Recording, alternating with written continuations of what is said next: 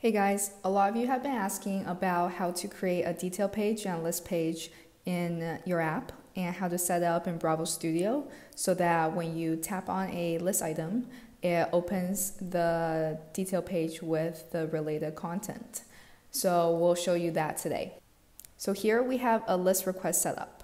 After you press send, go down to uh, the response list and make sure that you select all next to data records. This will select the entire column rather than a specific row.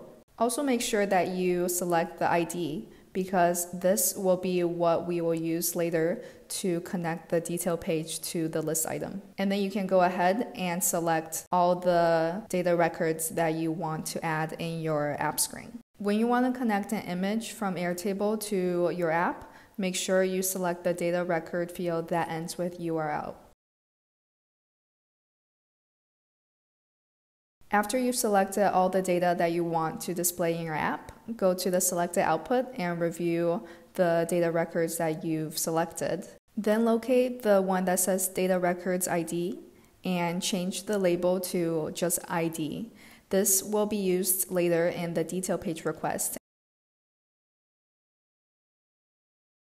Now we're going to set up our detail page request.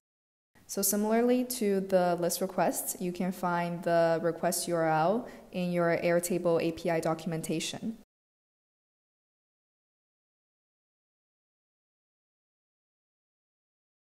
We are also going to copy the same authorization and bearer API key token from the list record into your detail page request.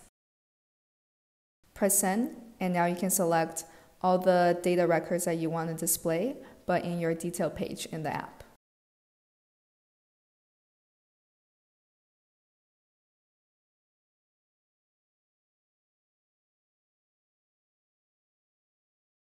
The important part of the detail page request is the parameters.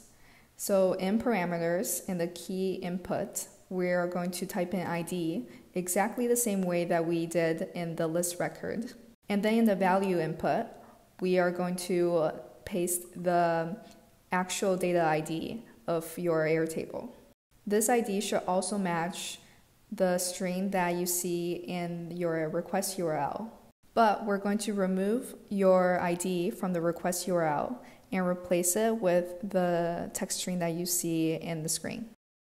And make sure that what is between the braces is exactly what you typed in in the key value of the parameters. Now press send again and you'll see that what you've selected before in the response list is still staying checked. Then go to selected outputs, locate the row that says data ID and notice that here the label says ID but with I in uppercase. We're going to adjust that so that it matches exactly again the key value of your parameters.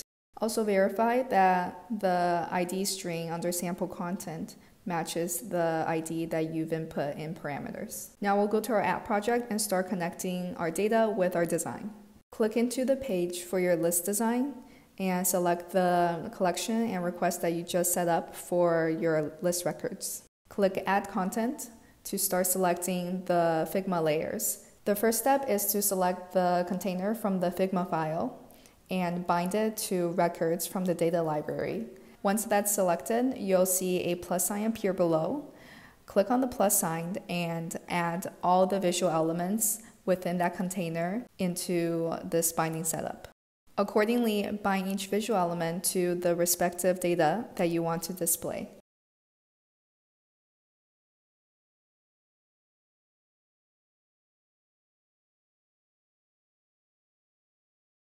Now that our list page is set up, we'll set up the detail page.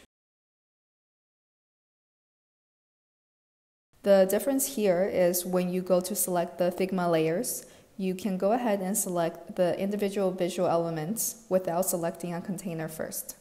Because here they will display only one data record at a time rather than the entire list of it.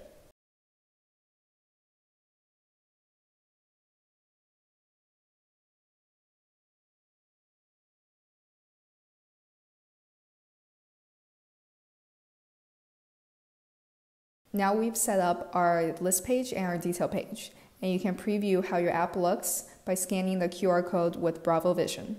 So in this app, you can see that our list page is now populated with the data from our Airtable. And whichever list item that you click into, it will show the respective data from that row. Likewise, you can connect multiple tables to the same app via multiple requests.